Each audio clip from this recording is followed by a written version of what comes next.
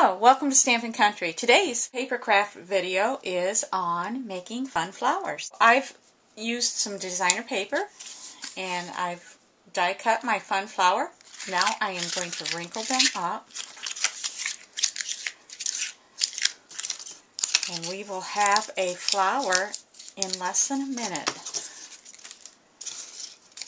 Unwrinkle them. You can alternate the patterns because the designer paper is two-sided. Open up the last one. We're going to layer them.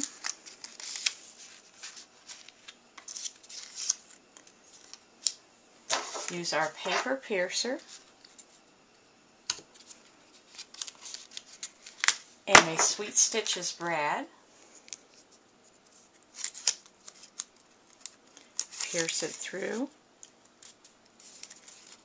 open it up, and we have a quick flower for um, any project that you would like. I, I used mine on a card for my sister. Hope you enjoyed this tip. Stop back soon.